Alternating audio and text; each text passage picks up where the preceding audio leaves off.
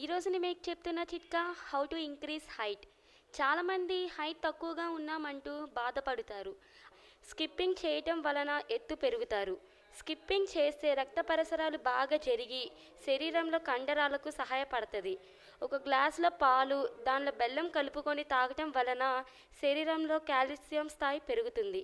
ప్రతిరోజు ఇలాగే చేయటం వలన హైట్ పెరగటం వల్ల సహకరిస్తుంది. ఒక టీ స్పూన్ నువ్వుల గింజల్ని బాగా నూరి దానిలో ఒక టీ స్పూన్ అశ్వగంధ పౌడర్ని కలిపి దానిలో మరో టీ స్పూన్ ఆవు నెయ్యి కలిపి బాగా మిక్స్ చేసి రోజు ఇలాంటి ట్రిప్స్ని మనం తీసుకోవాలి.